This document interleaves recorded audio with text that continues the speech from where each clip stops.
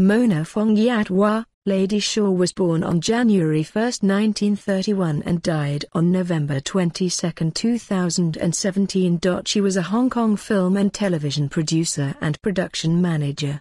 She was born in Shanghai to a singer, and her original name was Li Menglan.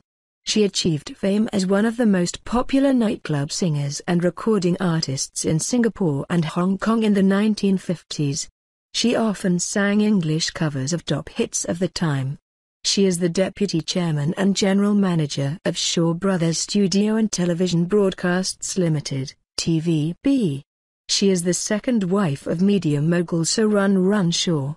To date, Fong has produced over a hundred films since 1977, the latest of which was Drunken Monkey in 2002.